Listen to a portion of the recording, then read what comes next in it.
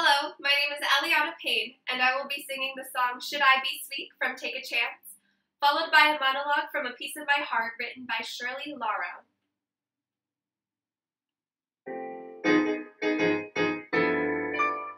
So I repeat,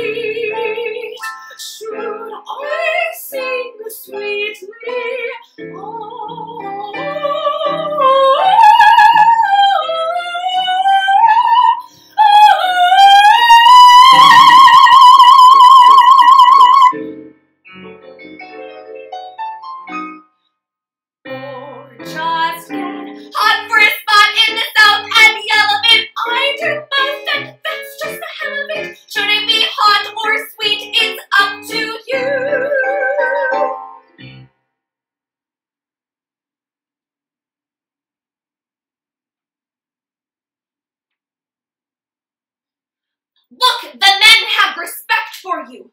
You're army, there are rules. I'm different. I mean, after the gigs, if we stay overnight where we are, some crazy stuff's happened. Stuff that never would have happened at home. But I wasn't forced. Not really. A couple of weeks ago, we got stranded at the coast near Nha Trang. Then the grunts. They apologized. One apologized.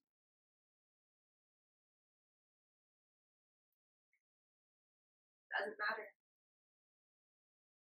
The whole place is so unreal it doesn't matter. No consequences. Nothing matters.